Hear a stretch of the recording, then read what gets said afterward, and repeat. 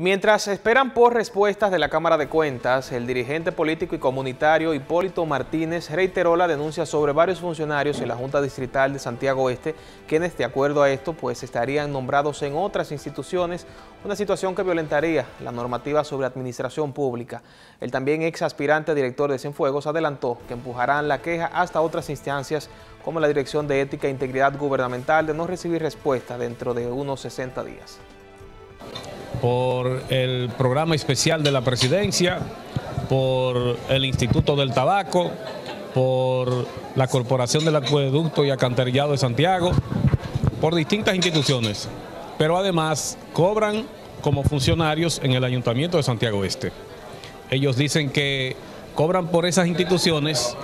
pero que en Santiago Este lo están haciendo de manera honorífica. Entonces, hay una contradicción donde ellos realmente prestan un servicio, mal hecho, pero un servicio, no cobran y por donde cobran entonces no trabajan.